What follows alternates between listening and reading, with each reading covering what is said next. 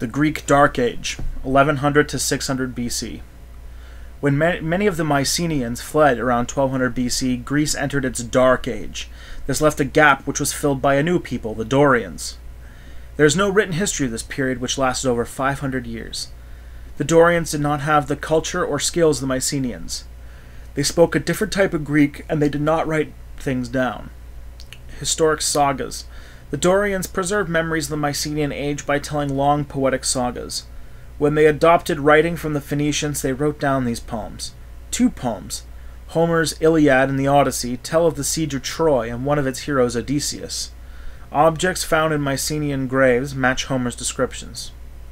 City life. During the Dark Ages, people abandoned town life in tribes ruled by warlords. By 600 BC, city life had revived and overseas colonization began. Power held by tyrants, or oligarchies, trade, population, and prosperity grew. After times of unrest around 500 BC, some cities, such as Athens, appointed reformers to reorganize government law and trade. This was the beginning of classical Greece.